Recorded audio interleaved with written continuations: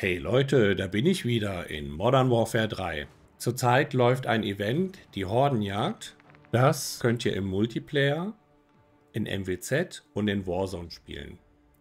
In Warzone ist es ein bisschen anders als im Multiplayer oder in MWZ.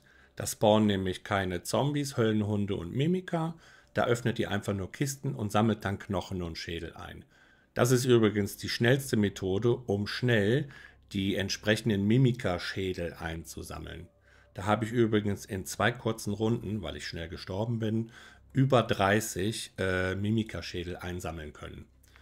Im Multiplayer ist es wirklich ein Krampf, diese Schädel einzusammeln, weil die Mimika nicht ständig spawnen und dann habt ihr noch eine Menge Camper, die euch dann abfarmen, wo ihr diese Mimika einsammeln wollt oder Schädel und Knochen.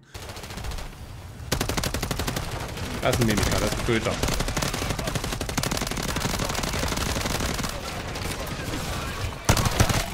Stirb! Jetzt verdammte Scheiße! Guckt euch das an, was soll denn das? Und da schafft ihr, wenn ihr Glück habt, als Teamleistung vielleicht 5 im Durchschnitt. In MWZ ist es natürlich so, da müsst ihr natürlich wissen, wo die Mimika spawnen.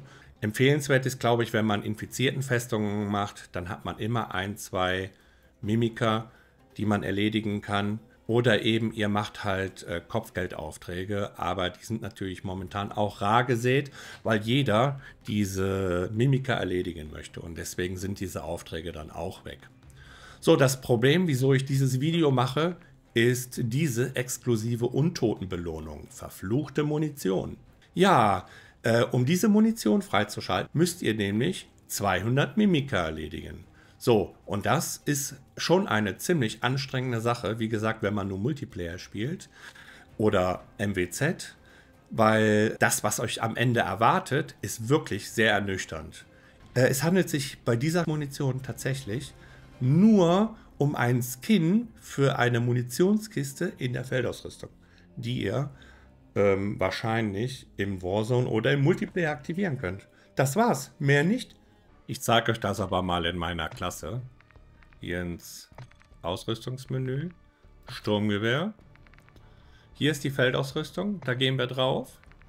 Und dann wählen wir hier die Munitionskiste aus. So, hier ist die Standard-Munitionskiste und hier ist der Skin. Den wähle ich jetzt aus. Und wenn ich dann drauf gehe, sehe ich dann, dass dieser nun verändert ist. Das war's. Was zur Hölle soll das? Warum muss ich mir hier einen Arsch abschwitzen, 200 Mimika erledigen, teilweise, um nur einen scheiß Skin für diese Munitionskiste zu kriegen? Man kann natürlich am Ende dieses Events auch diesen wunderschönen Skin freispielen, aber äh, wer ihn schön findet, ne, Geschmäcker sind ja verschieden. Das ist übrigens der neue Operator-Skin für Swagger in Cortec, falls ihr ihn sucht. Okay, ähm... Ja, Leute, was äh, sagt ihr denn dazu? Also ich äh, bin irgendwie ein bisschen enttäuscht über das Event. Das ging ja alles noch hier, aber das hier ist schon wirklich eine harte Nuss. Okay, Leute, vielen Dank fürs Zuschauen. Viel Erfolg noch bei dem Event. Und ich sag bis zum nächsten Mal. Ciao.